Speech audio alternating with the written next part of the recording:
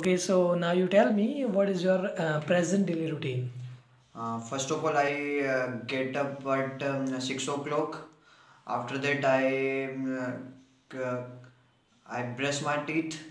After that, I prepare tea. After that, I um, uh, take tea, um, and uh, after that, I um, take bath. And after that, I uh, ready for college.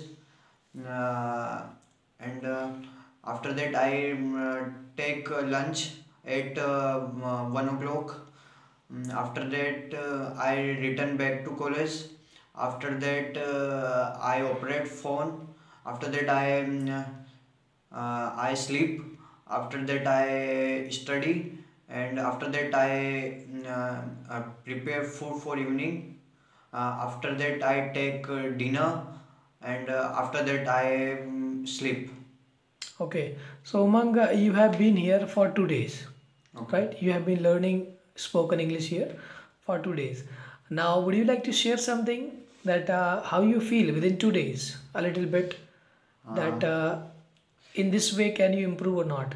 Mm, of, uh, first of all, I say I am uh, I glad to thank you, Priyanshu Bhaiya, um, who are teach me, and uh, I never ever seen uh, tutor like uh, tutor like you.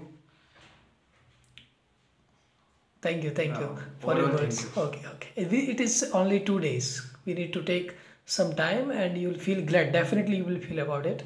Thank you so much for review.